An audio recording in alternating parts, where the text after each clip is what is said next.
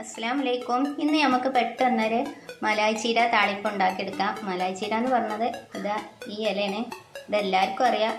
പക്ഷെ കണി ഞാൻ കാണിച്ചു തന്നത്. അതിന് ഞാൻ കുറച്ച് ഇല അരിഞ്ഞ് വെച്ചിട്ടുണ്ട്. രണ്ട് തക്കാളി അരിഞ്ഞ് വെച്ചിട്ടുണ്ട്. ഒരു പച്ചമുളകും അരിഞ്ഞ് വെച്ചിട്ടുണ്ട്.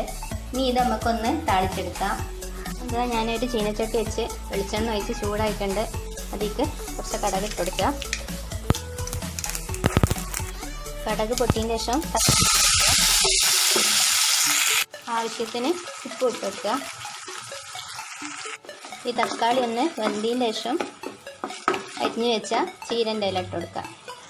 ആ തക്കാളി നന്നായിട്ട് വെന്തിട്ടുണ്ട്. ഇനി ഇല ഇട്ട് കൊടുക്കുക. ഇനി ഇതൊന്ന് അടച്ച് വെച്ച് ഒന്ന് വേവിക്കാം ഇതാ നമ്മുടെ മലായി ചീര ഇവിടെ റെഡി ആയിട്ടുണ്ട്. ഇത്രയേ ഉള്ളൂ. നമുക്ക് പെട്ടെന്ന് ഉണ്ടാക്കിയെടുക്കാം. അപ്പോൾ ഇതെല്ലാവരും ഒന്ന് ഉണ്ടാക്കി നോക്കൂ. അപ്പോൾ നമുക്ക് അടുത്ത വീഡിയോ ആയിട്ട് വീണ്ടും വരാം. താങ്ക്